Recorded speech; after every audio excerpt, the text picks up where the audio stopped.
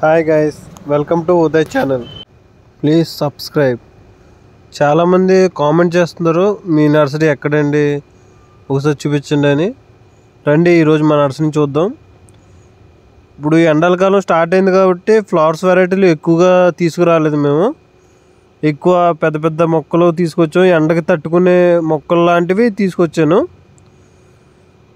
ఇది ఎంట్రన్స్ అనమాట ఇక్కడ ఎంట్రన్స్లో పెనానస్ బాగా నీడొచ్చే కదంబ కదంబ చెట్లని రోజీ అని. అవి ఇవి తెచ్చి ఇక్కడ పెట్టాను. పెద్ద పెద్ద కొబ్బరి చెట్లు కూడా ఎంట్రన్స్లో పెట్టాం. ఇందులో మీకు ఎన్ని మా నర్సరీలో మీకు ఎన్ని రకాల మొక్కలు ఉన్నాయో ప్రతి మొక్క మీకు కొబ్బరి మొక్క మామిడి మొక్క జామ మొక్క అని కాదు. ఏ మొక్కని ఎక్కడ నాటితే బాగుంటుంది ఎలా నాటితే బాగుంటుంది ఎలా బ్రతికించుకోవచ్చు కొమ్మలతో బతికే మొక్కలన్నీ అంటు కట్టితే బతికే మొక్కలన్నీ విత్తనాలతో వచ్చే మొక్కలన్నీ ప్రతిదీ మీకు షేర్ చేస్తాను. ఖచ్చితంగా ప్రతి వీడియో తీస్తాను. ఎవరిని డిసప్పాయింట్ చేయను. ఇన్ని రోజులు మీరు ఎక్కడికి వెళ్ళిపోయారండి బాబు అన్న విధంగా నేను వీడియోస్ పెడతాను. చూడండి మనల్ని ఫాలో అయ్యే వాళ్ళు ఎప్పుడూ మొక్కల్లో ఇంత ఈజీగా పెంచుకొచ్చా అన్నట్టుగా నేను చేస్తాను మిమ్మల్ని. ఎందుకంటే నేను చిన్నప్పటి నుంచి మొక్కల్లోనే పుట్టి పెరిగినట్టు మేము. మాది కడియం అది అసలు. మా తాతలది. అందువల్ల మాకు ఆ చుట్టుపక్కల ఏరియాలో మొక్కలు ఎలా తయారు చేస్తారో ఎక్కడ ఎలా అమ్ముతారో అన్నీ తెలుసు. రేటుతో సహా అన్నీ నేను చెప్తాను. కావాలంటే రీజనబుల్ రేటుకి. అటు రైతులు రేటు కాకుండా ఇటు కస్టమర్ రేటు కాకుండా ఈ రేటుకి అయితే మీరు ఈ మొక్క కొనుక్కోవచ్చు. అంతకన్నా ఎక్కువ అయితే వేస్ట్ అన్నట్టు చెప్తాను. మీకు ఏ ఇబ్బంది వచ్చినా సరే నాకు కామెంట్ చేయండి. కావాలనుకుంటే నా నెంబర్ కూడా కింద ఇస్తాను. ఒకసారి కాల్ చేసి అడగొచ్చు మీరు. పలానా మొక్క రేట్ ఎంత ఉంటుందండి? దానికి ఏ మందులు వేయచ్చు? చూడండి మరవ మొక్కలు మా దగ్గర ఉన్నాయి. మరవ మొక్క బతకాలి అంటే ఒకటే గుర్తుపెట్టుకోండి. వర్షాకాలం పట్టుకెళ్ళి పాడు చేస్తారు చాలామంది.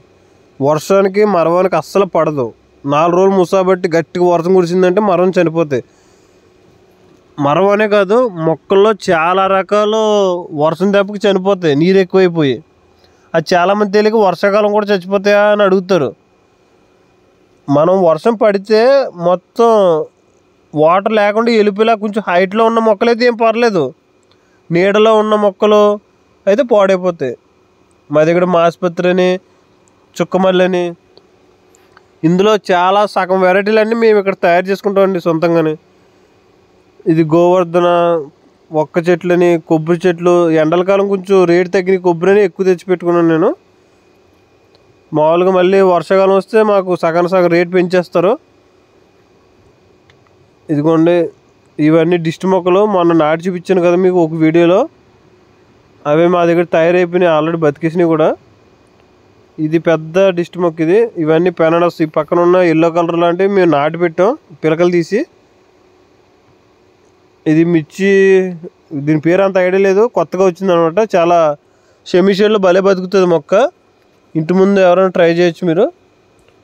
ఇవన్నీ ఎండలకి పాడైపోతున్నాయి మాకు ఇక్కడ. సరిగా ప్లేస్ లేక ఎక్కడ పెట్టాలో తెలియక ఇలా ఇక్కడ ఎండలో పెట్టేసాం మేము. ఇవి వీటన్నిటికీ ఎండ తగలకుండా ఏదో గుడారలాగా వేసి పెడితే చాలా బాగుంటాయి అందంగా వస్తాయి. మాకు ఇక్కడ అంత స్పెషాలిటీ లేక అలా వదిలేసాం వాటిని. చూడండి కాశ్మీర్ గులాబీ జామ స్టార్ ఫ్రూట్ ఇంత పెద్దాకు మనీ ప్లాంట్ ఎప్పుడైనా చూస్తే నాకు ఒకసారి కామెంట్ చేయండి. ఇది అరిటాకులా ఉంది. మా ఊర్లో ఒక రైతు పెద్ద కొబ్బరి చెట్టు ఎక్కించాడు దాన్ని. దాన్ని పీకేసి నాటి మాకు అమ్మాడయ్యి అరిటాకులా ఉంటాయి అసలు దాంట్లో అన్నం కూడా తినేచ్చాము. అంత పెద్దగా ఉంది మనీ ప్లాంట్ అది. చూడండి మీకు ప్రతి రకం అంటే ఒకే చోట అన్ని రకాలు ఇది తీగమల్లండి మీకు అన్ని రకాల క్రోటన్స్ ఏంటి పండ్ల మొక్కలు ఏంటి ఫ్రూట్స్ వెరైటీస్ ఫ్లవర్స్ వెరైటీస్ మీకు పాట్స్ ప్రతి రకం మీకు ఒకే చోట దొరుకుతుంది. ఇక్కడ మట్టితో సహా అన్నీ అమ్ముతాం. మొత్తం మొక్కలు నర్సరీలు ఏమేమి ఉండాలి అన్నీ ఇవి ట్యాంగిల్ హార్ట్ అండి చూడండి. టటిల్ వైన్ అయిపోయింది. హ్యాంగ్ బొట్లు చాలా బాగుంటాయి. టేబుల్ రోజు కూడా హ్యాంగ్ బొట్లు వేసుకోవచ్చు కానీ విపరీతమైన ఎండలో పెడితే మనకి ఎక్కువగా పూలు రావాలంటే ఏ చెట్టు అయినా ఎండలో పెట్టాలి. అదొకటి గుర్తుపెట్టుకోండి.